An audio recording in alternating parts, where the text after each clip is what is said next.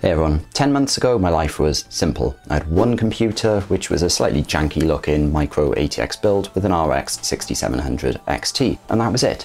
But in the past 10 months I've then been on a journey where I've changed my graphics card, power supply units and motherboards absolutely loads. Some might say it's a sign of insanity, I say I'm a visionary.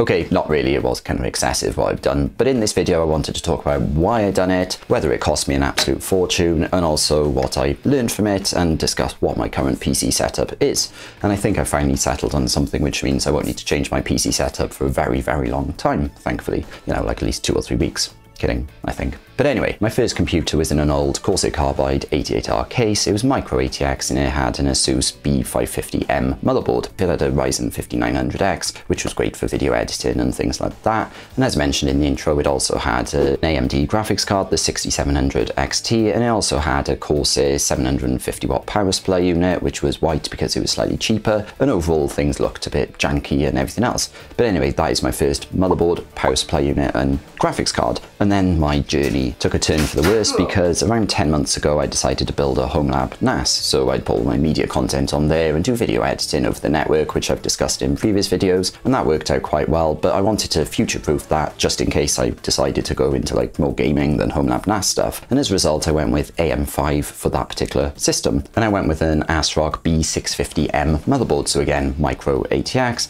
I went with another 750 watt Corsair power supply unit, which was actually refurbished, which I'm still on the fence about it, probably wouldn't buy a refurb PSU anymore. So that was the second motherboard and power supply unit. And then I didn't go with a graphics card. I was literally using the integrated graphics. They obviously come on the 7000 series and 9000 series of CPUs, which is really useful. And I didn't need anything more because obviously this was just a HomeLab NAS for storing media content and stuff. So that is that. However, I then decided to upgrade my main motherboard in my gaming computer to ATX because basically I'd grown tired of the micro ATX format. I wanted expansion cards and a bit more room in the case, so I wanted to move to ATX. And it's here that I made my first mistake because I didn't do enough research on the new, you know, motherboard. I just went with a random, I think it was a Gigabyte motherboard, which was my third one, by the way, if you're keeping count. And it was a pretty good motherboard. I mean, it was the Aorus Elite V2, which isn't exactly a cheap one, but actually it had some issues. For example, my M2 drive was running slower than I would like, and the second PCI Express slot, it only ran at X2, and as a result, when I put my capture card in there, it couldn't reliably actually capture the game footage and stuff, and that was one of the main reasons I upgraded my motherboard, so that was incredibly annoying, to be honest.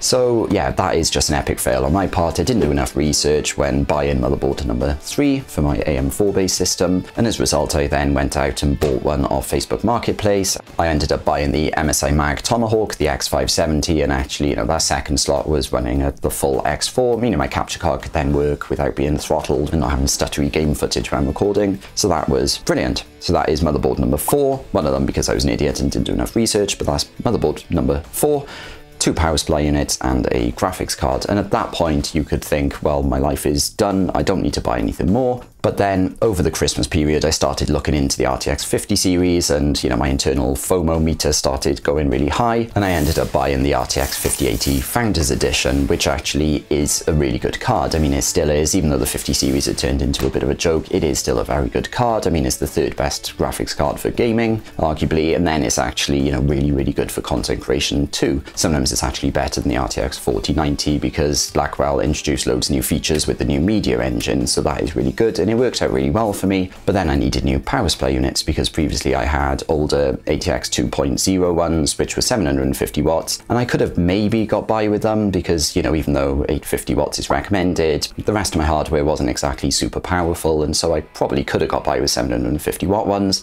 but I was a bit paranoid about the whole 12 volt power thing, and as a result, I wanted to get brand new ATX 3.1 power supply units with a native 12 volt 2x6 slot. So I did that, and I changed both of my power supply units in both of my systems. And that's the downside of running two computers is if you need to change something like that, it's twice the cost. So yeah, I bought two new power supply units. I bought one from Corsair, their new 2025 RME series, and actually that was really good. It's got the native slot so I could test out my RTX 5080 in my AM5 system really well. And then on my other computer, I went with a white Montech power supply unit, also 1000 and also having that native slot. But that is the fourth power supply unit. So essentially, you know, I had the two 750 watt power supply units and then I sold them. And actually I didn't sell them for too bad. Actually, you know, I didn't lose tons of money or anything, so that's not too bad. But what about the rest? Well, the next thing I decided to do was upgrade my HomeLab NAS to more of a gaming system, so I got rid of the single stick of 8 gig RAM that was really slow and I went with 32 gigs at CL30, 6000 megahertz, and I also wanted to change the motherboard while I was there, and so, you know, I actually took the B650M motherboard that was in there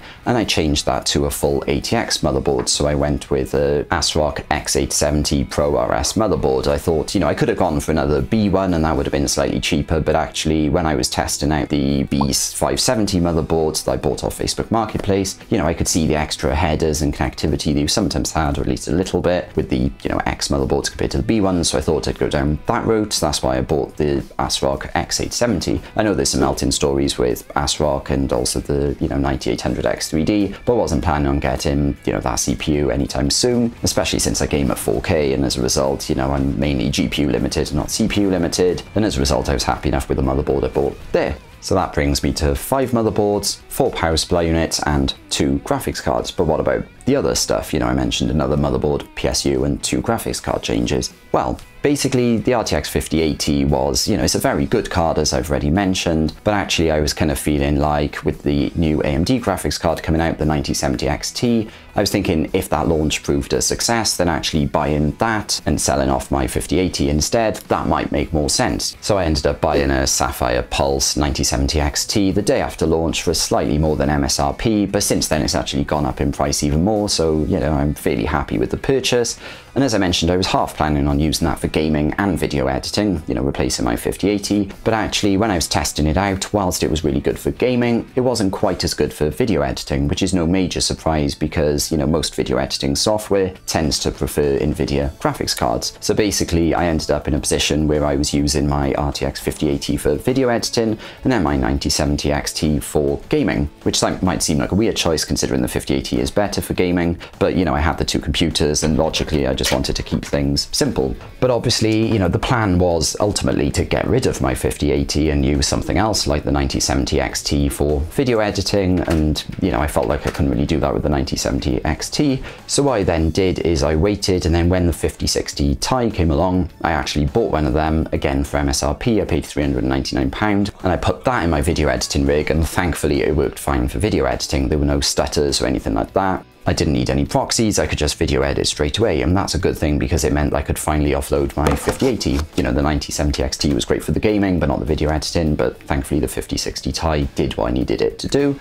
So then I sold off my RTX 5080, but that's why I end up with four graphics cards, you know, even though I've sold, well, two of them off, my original 6700 XT and the 5080, I've then got the remaining two graphics cards, so I got the AMD 9070 XT in my gaming system and the RTX 5060 Ti in my video editing system, and actually that works out really well, so I'm quite happy for that. So that sums up the four graphics cards, but what about the missing, you know, power supply unit and motherboard that I keep mentioning? Well, I've always wanted to try a mini ITX build, especially because my two computers were starting to take up a lot of space. I had a micro ATX build and then a full tower ATX one, so I decided to actually, when there was sales, I bought a bunch of mini ITX related components and cases, and then I actually started on an all-white computer build. It was a really fun build, and you know, I finished that build, but obviously as part of that, I needed to change the motherboard and the power supply unit, of course, so that was a bit of a faff. So for the power supply unit, I ended up buying the Asus ROG Loki 850 watt small form factor power supply unit, which is all white, so it's in keeping with the theme. And for the motherboard, I bought Gigabyte Aorus Pro Ice X870i, which is really expensive, but it's an absolutely lovely looking motherboard. And actually, you know, there's no other white mini ITX AM5 motherboard available, so actually, you know, I didn't have much choice, but actually I'm really happy with it. And that brings us to where we are today. And you might have noticed that somewhere along the line, I switched my main computer from AM4 to AM AM5. I've now got two computers both on AM5